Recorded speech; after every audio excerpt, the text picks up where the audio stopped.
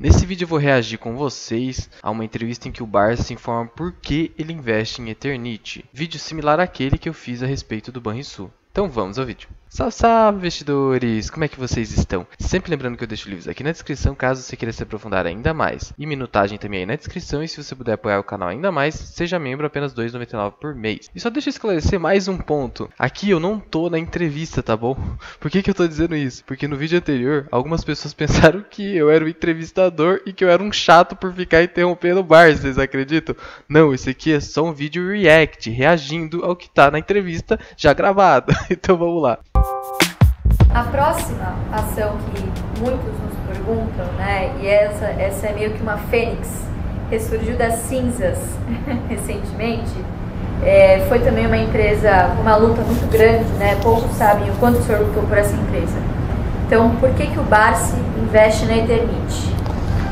O Barsi investiu na Eternit. O não investe na Eternit. Ó, nesse ponto, o que, que ele está dizendo? Não é que ele não tem mais ações da Eternity, é que ele já foi um grande investidor de Eternity. Não sei se vocês se recordam, mas no ano passado, Barsi reduziu sua posição de Eternity de 5,07% para 4,43%. Então hoje, ele é um acionista bem minoritário, mas ele já deteve mais de 10% da companhia. Está reduzindo posições, que a ação acabou sumindo muito, então ele está promovendo adequações de portfólio. Lembrando que a Eternity faz parte da carteira de oportunidade do Barsi, não é uma empresa que paga altos dividendos. Não atualmente, mas antigamente já pagou muitos dividendos. A grande realidade é essa. A Eternite, não sei se todos sabem, mas ela foi uma excelente empresa enquanto produziu bons resultados. Ela era uma empresa cujo yield era superior a 10%. Ela era uma empresa que pagava dividendo trimestral, tinha uma boa, uma boa capacidade operacional, enquanto ela enquanto ela detinha a possibilidade de industrializar produtos com o amianto.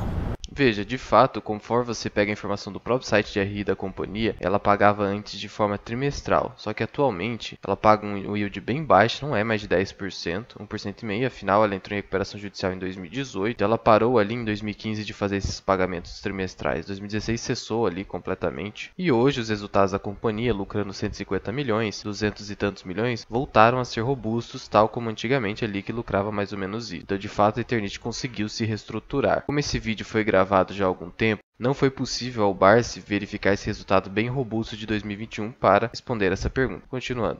Acontece que o amianto ele foi extremamente combatido por seus concorrentes, não é isso?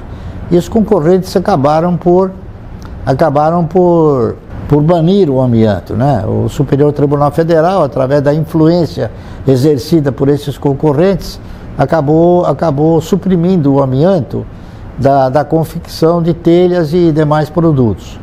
Então, eu fui um Nesse ponto aqui, só recapitulando, a Eternit sofreu uma sofreu praticamente um ataque do Supremo Tribunal Federal que proibiu o amianto, que era a principal matéria-prima da companhia durante 80 anos. Você imagina só a sua companhia, a sua empresa, com quase 100 anos de idade, utilizando de uma matéria-prima e simplesmente vem a justiça e diz que você não pode mais usá-la. Olha o impacto social, trabalhista que tudo isso tem. E aí, como eu já disse no outro vídeo, eles fizeram isso simplesmente por uma incerteza científica de que o amianto poderia causar algum dano ambiental. Mas mas infelizmente essa é a nossa justiça brasileira. Ótimo, eu fui, eu cheguei a ser o maior acionista uh, da Eternite.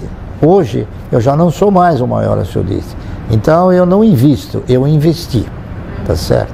Eu deixo claro isso. É. Isso não significa dizer que a Eternite não possa vir a, a, a, a, se, a se remodelizar, a se reestruturar.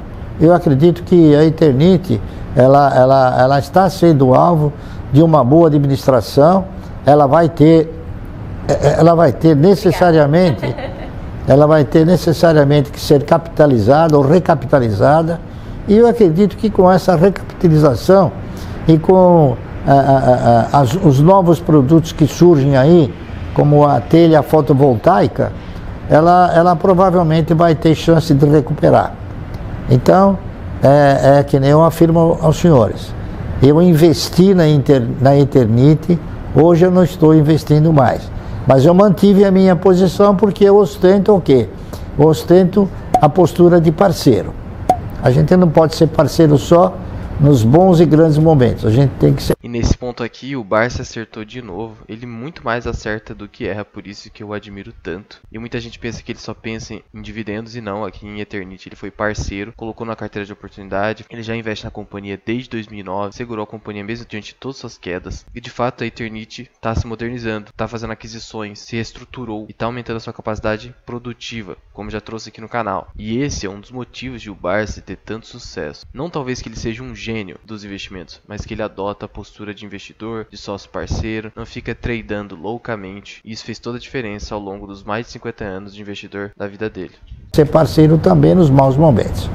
E como ela está num mau momento, eu não vou me divorciar desse investimento que eu já fiz divorciar. há tempos atrás. Portanto, eu vou carregá-lo e vou aguardar que a empresa se recupere. Quem sabe talvez eu volte no futuro a investir na empresa.